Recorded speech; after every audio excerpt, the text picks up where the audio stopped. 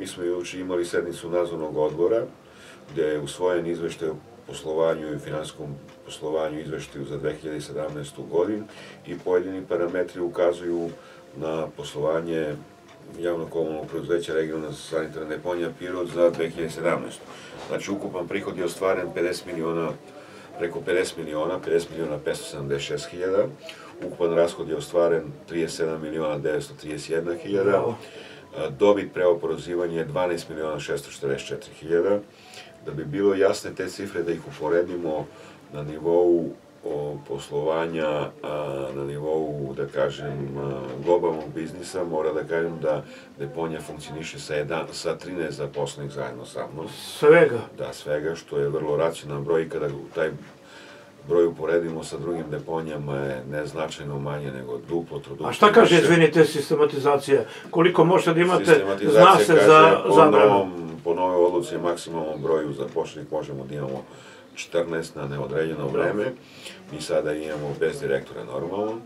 I uh, ukupan prihod po radniku je ostvaren 3 miliona 890 hiljada, znači po radniku 3 miliona 890 hiljada, a ukupna dobit pre oporozivanja po zaposlenom 972 hiljade po zaposlenom ili ukupna dobit od ukupnog prihoda presta, čini 25%, znači 25% stvarano je dobit pre oporezivanja od ukupnog prihoda.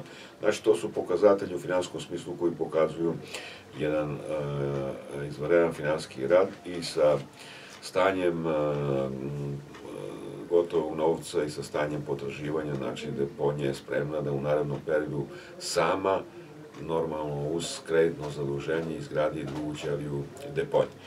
Uh, sada i ti ispunjeni su svi, da kažem, programski ciljevi, projektno, oni ciljevi iz dela fizičkog obima, poslovanja sve ostalo. Normalno, jedan da i moja ocena i ocena nadzornog odbora, ne samo moja, nego nadzornog odbora, taj izveštaj ide na Skupštinu grada Pirota i shodno aneksu daju mu saglasnost ne Skupštine opštine osnivača, nego grad, opštinska veća, Babušnica, Bela Palanka i Pirot. Ja, tako da, uspešno je završena 2017. godina, E sada, jedan od elemenata u 2017. godini moguće je što smo u pripremi programa, neke stvari je program poslovanja za 2017 za 2016.